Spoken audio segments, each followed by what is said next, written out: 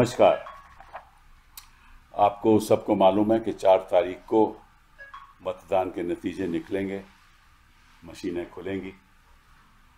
और आपके द्वारा आज मैं जनता को और राजनीतिक दलों को अवगत कराना चाहता हूँ कि जब मशीन खुले तो आप लोगों को क्या करना चाहिए? ये बहुत बहुत महत्वपूर्ण है। तो मैंने एक चार्ट बनाया आपके लिए। सब दलों के लिए चार्ट बनाया है और जो भी वहाँ काउंटिंग एजेंट बैठे हैं, उनके लिए चार्ट बनाया है कि आपको क्या सुरक्षा करनी चाहिए काउंटिंग के वक्त। ठीक है? तो मैं चार्ट ये आपको दे भी दूँगा। अब इस चार्ट में आप देखोगे कि पहले लिखा है C U number.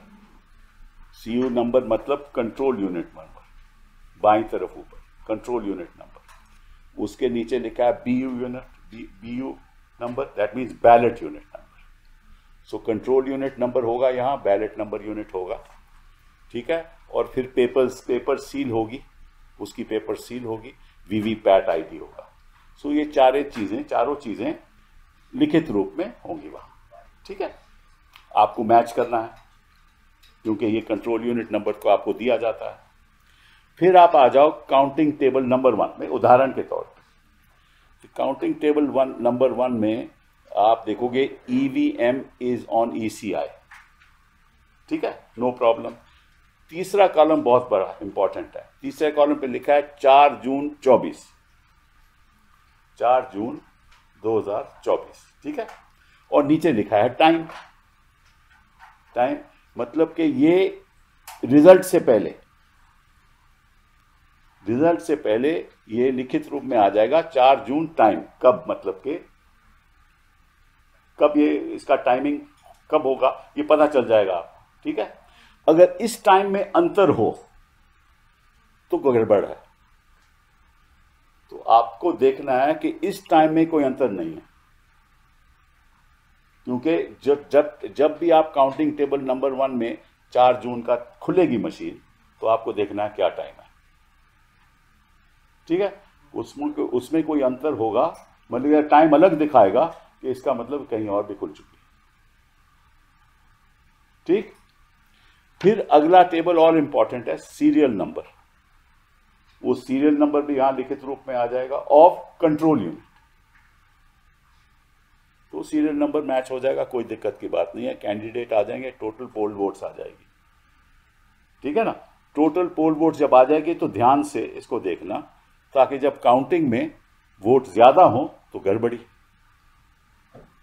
फिर आ जाओ आप, अब जब ये ऊपर की बातें सब हो जाएँ, तभी आप रिज़ल्ट बटन दबाने का की अनुमति देना।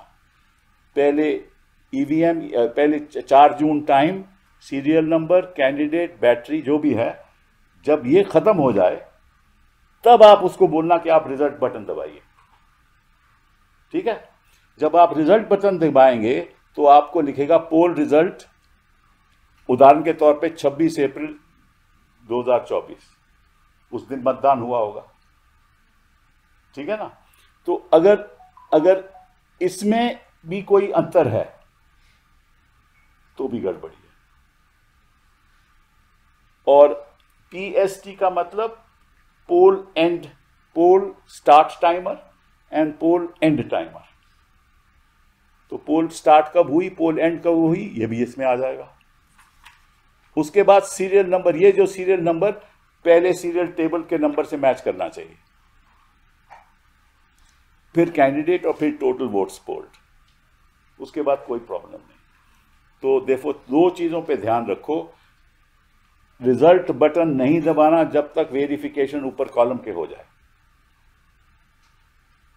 और अगर वो टाइमिंग और इस टाइमिंग में अंतर है, वो रिज़ल्ट की टाइमिंग में तो गड़बड़ है। उस टाइमिंग में अंतर है तो गड़बड़ है। ठीक है? तो ये सब मैं आपको दे भी दूँगा, टेबल भी दे दूँगा। ये मैं चाहूँगा कि सारे राजनीतिक दल और सारे कैंडिडेट जो वहाँ काउंटिंग एजेंट बैठे हैं, वो इसको ध्यान से ध्यानपूर्वक पहला कॉलम चेक करके तभी खुलवाएँ।